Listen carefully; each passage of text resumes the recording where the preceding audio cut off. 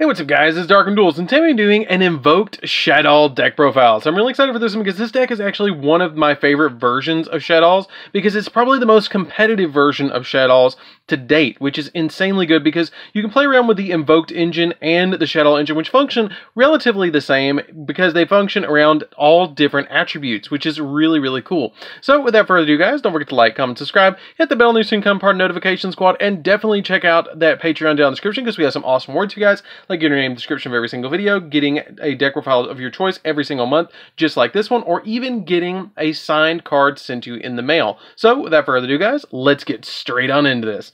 So first off, we're going to be playing just two copies of Shaddoll Wendi. Wendi is just a two-up to me because what she does is, is when she's flip face up, all Shaddoll monsters, really quickly, upkeep thing, um, all Shaddoll monsters are flip effect monsters in the main deck, and they all have the ability that you can activate either the flip effect or the effect that they get sent to the graveyard once per turn. So that's something to keep in mind. So her flip effect is that you, when she's flip face up, you can special summon a Shaddoll from your deck and face up or face down defense. And if she's sent to the graveyard, then you can special summon a Shaddoll monster from your deck and face down defense. But you can only activate either or the flip or the sent to graveyard effect once per turn.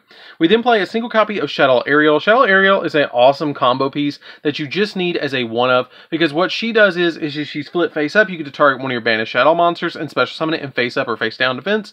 And if she's sent to the graveyard by a card effect, you can target up to three cards in the graveyard and then banish them, which is really good to get rid of resources from your opponent. We then play two copies of Shaddoll Beast. Shaddoll Beast, when it's flip face up, you get to draw two cards or and discard a card. And if it's sent to the graveyard, you get to draw a card, which is really good for the draw power of the deck. And that's why you play this card as a two of. We then play a single one of in the deck, which is one Shaddoll Dragon. If it's flip face up, is a compulsory evacuation device, bouncing a card on your opponent's side of the field back to the hand. If it's sent to the graveyard, it's a Mystical Space Typhoon, which uh, lets you pop a card on your opponent's side of the field that's a spell or trap.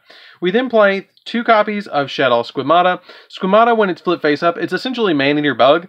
It destroys a monster on your opponent's side of the field, and if it's sent to the graveyard, it's a Foolish Burial that sends a Shaddoll from your deck to the graveyard, which then triggers that Shaddoll monster's effect because they were sent to the graveyard. One copy of Shaddoll Hedgehog. When it's flip face up, you get to add a Shaddoll Spell or Trap from your deck to your hand. And if it's sent to the graveyard, you get to add a Shaddoll Monster from your deck to your hand. And then my personal favorite of all the Shaddolls, which a lot of people don't really care for, is one Shaddoll Falco. Okay, Shaddoll Falco is kind of like that card that's kind of the underdog to me. This card is really good in my opinion, but I just like it as a one-of. Because what it does is, if you, when it's flip face up, you get special summon a Shaddoll monster from your graveyard. And if it's sent to the graveyard, then you get to special summon it back face down, which is really, really good, just to be able to recur your Shaddoll monsters. Then we play, that's it for the Shaddolls. For the other monsters, we're playing three copies of Aleister the Invoker. Aleister the Invoker, when he's normal summoned, you can add a invocation from your deck to your hand, and then during either player's turn, you can send this card from your hand or to the graveyard, and then target a fusion monster you control, and it gains a thousand attack and defense until the end phase of the turn. Really good and a really essential combo piece because all of your invoked monsters require Aleister as one of the two pieces, which is really good because you can normal summon the Aleister and then use Super Poly with anything from a light, fire, or dark monster your opponent controls to fusion summon your monster using your monster and your opponent's monster. Or if you have Shaddolls on your side of the field that are normal summoned on your side of the field, you can fusion summon using Super Polymerization with a light, dark, or, or a lighter dark monster, which is really cool as well. So you have a lot of attributes right there to fusion summon with Super Poly as well. This deck, Super Poly was made for this deck. Then we play a single copy of Performage Trick Clown. When Trick Clown is sent to the graveyard, you can special summon it back to your side of the field by losing a thousand life points or another Performage monster in your graveyard. But you lose a thousand life points and its special summon is a 0-0, but you're just getting it on the field for additional materials for other plays. One copy of Damage Juggler. Damage Juggler is really helpful too because you can banish it from your graveyard to add a Performage monster from your deck to your hand, which is super helpful. It kind of comes into effect with effect damage too. I don't really use it for that effect. I usually just use it for the banish to add.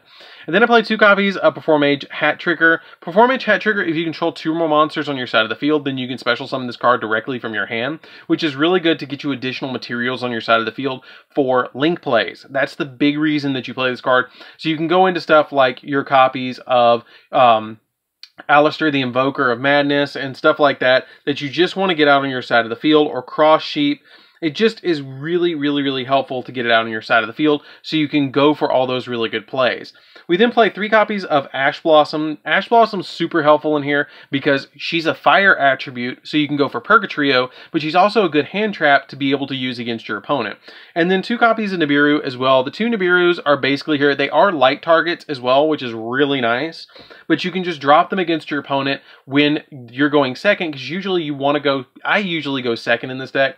If I get pushed to go first, I just usually end up putting a Winda on board and passing, and then my opponent has to deal with the Winda, like Winda Mechaba, which is really a good field, but I like going second if I have Nibiru because you just drop the Nibiru against your opponent and you just handle their field and then go in for an OTK with a lot of your monsters because it's really easy to just swarm the board with this deck. So that's it for the monsters, guys. Let's get into the spells. So for the spells, we're playing three copies of Call by the Grave. The three copies of Call by the Grave just stop our opponent's hand traps because we really, really, really want to get our monsters into the graveyard and keep them in the graveyard and not get hand trapped and stuff like that. We just don't want to get hand trapped at all, so we just use the Call by the Grave to stop that. Three copies of Shaddoll Fusion. Shaddoll Fusion is the best fusion spell in the entire game, besides Super Polymerization and Invocation, which we play both in this deck. But Shaddoll Fusion, if your opponent controls a monster that's special summoned from the extra deck, then you can fusion summon using monsters in your deck as the materials for a fusion summon of a Shaddoll monster. So what you're going to do is usually go for Construct first by using your Wendi and your copy of, if you haven't used Wendi, you're going to use Wendi and uh, what's his name? Uh, Trick Clown. Use him and then send him to the graveyard and then get hat trick or get um the perform mage back on the field and then Construct's going to send something to the graveyard and it just snowballs from there and you can link with her and then use different and like it goes crazy. I need to do test hands of this deck. Like that would be a lot of fun. I'm thinking about doing that one. Um, we then play three copies of El Shaddoll Fusion.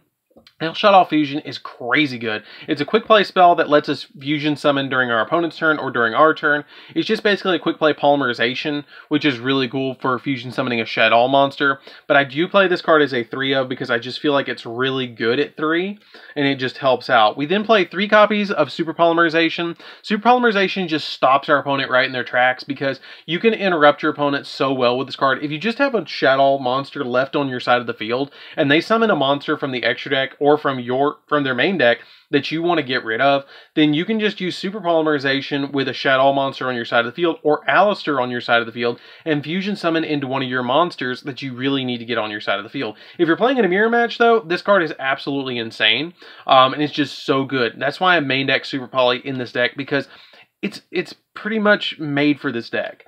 We then play three copies of Invocation, which is again kind of like Polymerization and Miracle Fusion mixed into one, because it lets you fusion summon a fusion monster from your extra deck using monsters from your hand as fusion material. And if if summoning an invoked fusion monster this way, you can banish the materials from your field and or either player's graveyard. So you can snatch cards out of your opponent's graveyard to use for fusion materials as well, which is super good. Like that's really good because if your opponent's drop playing Ash Blossom, if they're playing some sort of dark deck, you can summon Caliga, you can summon Purgatrio. If they're playing anything light, you can summon Mechaba. I mean, you just have so many different attributes that you can deal with in this deck, which makes this card really, really good. Then we play three copies of Magical Meltdown. I do think on the next list that we actually get a real ban list because we didn't really get a real ban list this time. I think this card is going to go to one, but that'll be fine. There's different ways to play around it because you can always play um, copies of Terraforming or uh, copies of um, oh my goodness, what's it called? Terraforming or Metaverse in order to get into this card. It's going to slow the deck down a little bit, but it'll be fine. The deck will still work. Um, but when this card is activated, you get to add an Aleister from your deck to your hand, and then basically it makes it so none of your fusion monsters can be negated when they're fusion summoned. Like they can't negate the summon, and also your opponent's cards and effects cannot activate when a fusion monster is fusion summoned. So it makes it so essentially your fusion spells are speed spell threes or speed spell fours. I mean, they just can't respond to them, which is really cool to be able to summon those monsters, and is really, really, really, really good. It's just such a good card. So that's it for the spells, guys. Let's get into the traps or the trap that we play in this deck, and it's a single copy of Reshaddoll Incarnation. The reason you play this card at one is because it's a good combo piece to send to the graveyard when you first uh, summon Construct. Because if you send it to the graveyard, then you can banish it because it has the ability that you can target a Shaddoll monster in your graveyard and special summon it in face up or face down defense. And you can banish this and a Shaddoll monster from your graveyard and then activate one of these effects. Change a face up Shaddoll monster you control uh, to face down defense, or change a Shaddoll monster you control to face up defense, or a monster on your side of the field face up defense. So what you want to do is have this on your side of the field in face down defense, banish this in a construct, flip it back up, and then special summon the construct to your side of the field in face up um, and then just special summon the construct to your side of the field and face up defense, which is then can be used as link material and stuff like that. But that's where the combo with Ariel and Reshaddoll Incarnation comes in. So that's it for the main deck, guys. Let's get into the extra deck. So for the extra deck, we're playing a single copy of Mechaba, which is our big negation of the entire deck. If your opponent activates a card, which is a spell trap or monster, you discard the same kind and you negate the effect, which is really cool, and destroy it, or banish it, which is really good just to banish stuff. One copy of Purgatrio Purgatrio is here for the OTK because it gains 200 attack for each monster your opponent controls and can attack all monsters your opponent controls and inflicts piercing damage. So it's really big and really good. Uh, one copy of. Caliga is neat because if um, and it, if an effect is attempted to activate it and none of the players can activate their effects for the rest of the turn, and then when this card phase card is on the field, each player can only attack with one monster during each battle phase. So it really slows the game down. Um, I really, really, really like that. It's just really good. It makes it makes it basically so you can only tackle one monster, only activate one effect, which is really good to have this and Winda on the field because then you can only special summon once, and then you can only act activate one effect and only attack once. It just totally shuts down the game. I play one of the new um, invoked tower. If you guys didn't know what this does, it's actually the um, ta- spellbook tower because the spellbooks and Aleister are like connected, which is cool. So if you look at this, this is actually the Grand Spellbook Tower, um, just transformed into a um, person which is cool, into a mech. Uh, essentially Optimus Prime. But if this card is special summon, you have to use Diffusion Monster summon this card. If it's special summon or a monster special summon to your opponent's field, you can target a card your opponent controls, or target a monster your opponent controls and destroy it. And then also, once per turn, you can banish a fusion monster from your graveyard, and this card's attack gains equal to the banished monster's attack. So this card can go up to uh, 2800 boost with the copy of Construct getting banished, which is pretty big, which is 4800. That's, I mean, that's decent. We then play two copies of Construct. Yes, we do have that ultimate rare for this. Why would we play anything else? We do have the Ultra and the Ultimate, so they know know they're getting slammed with two different constructs. But basically what this card does is she's not once per turn, but if she's special summoned, you get to send a Shaddoll from your deck to the uh, graveyard, any Shaddoll card from your deck to the graveyard. And the started damage step, if she battles a special summon monster, it's instantly destroyed. And then uh, also, if this card is sent to the graveyard, you get to target a Shaddoll spell or trap and add it back to your hand. So if you have Shaddoll Fusion in the graveyard, then you can just add it back, which is super cool. We then play two copies of Winda. Winda makes it so that you, both players can only special summon once per turn, and she also can't be destroyed by her opponent's card effects. She also shares the ability that if she's sent to the graveyard, then you get to special summon or add that Shaddoll spell or trap directly from your graveyard to your hand. Uh, then I play a single copy of Apkallone. A Apkallone is good, but you have to use two Shaddolls with different attributes. So you have to use Ariel or Ariel, uh, Windy plus one of the dark ones, or one of your fusion monsters plus a dark one, or any of the Shaddoll monsters. So it's really a good card, but you just need it as one up. It can't be destroyed by battle, and if it's special summoned, you can target a face-up card on the field and negate its effects. Or if this card is sent to the graveyard, you get to add a Shaddoll card from your deck or graveyard to your hand and then you discard a card, which is good because it triggers your other Shaddoll monsters that are sent to the graveyard. So then I'm playing an Access Code Talker package in the extra deck, which is a single copy of Access Code Talker. If you don't have this card, you can play Borrelsword. I almost played Borrelsword or Apollousa. You can play either or, but I wanted that extra amount of pops on my opponent's side of the field. And plus it's a speed spell for pop. And if you guys don't know what this does, it just takes two effect monsters to link into this card, and what it does is your opponent cannot activate cards or effects in response to this card's effect, which makes it a speed spell 4. And if this card is link summoned, you can target a link monster that was used um, to link summon this card, and it gains attack equal to the link monster's rating times a thousand.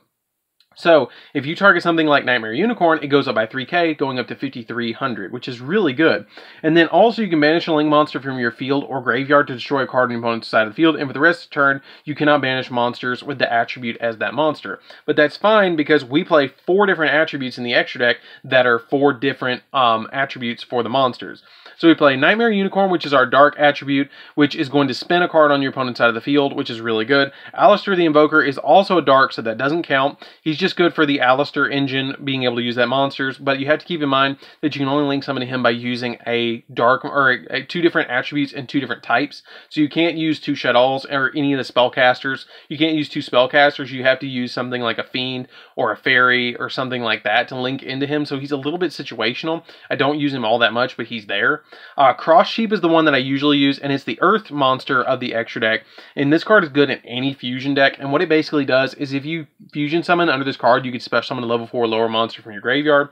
Uh, Almiraj, because it's a fire target and if you normal summon out your copy of Aleister, then you can link the Aleister way, summon the Almiraj, and then link the Almiraj way and summon out your copy of Secure Gardna, which is a light target for your Shaddolls, just to instantly get a light target on your side of the field because it requires a Cyberse Link monster to summon this card. So you have light, fire, earth, and dark for the Access Code Talker and a, and a uh, three to summon this. I really wish I had room for Apollousa too, but I just don't. Like the extra deck is so tight that you don't really have room for it.